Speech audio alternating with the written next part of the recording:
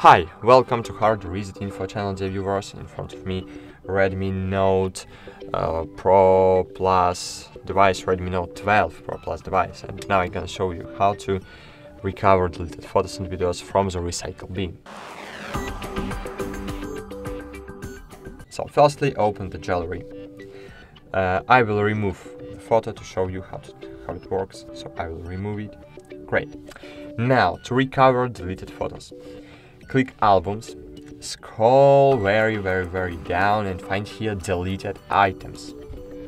Click on it, find the item you want to recover and just click on the Recover button. Go back to the normal gallery. And as you can see, this photo was successfully recovered. That's it, thanks for watching, like this video, subscribe to our channel and bye!